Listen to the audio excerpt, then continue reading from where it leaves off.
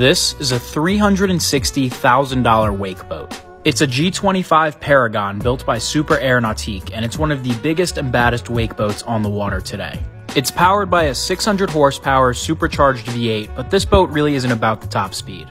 When you spend the extra money on the Paragon trim, you're really paying for the extra interior and exterior details. There are geometric details all over this boat, including these custom speakers. Being a 26 foot boat, there's a decent amount of space in the bow seating area.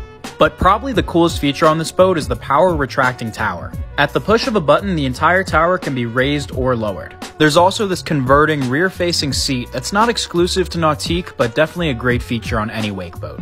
The Paragon is definitely not a steal at 360 grand, but it is certainly a nice boat. And don't forget, boating season's around the corner, so make sure to pick up some boat buddies and maybe even a boat buddies t-shirt for this boating season.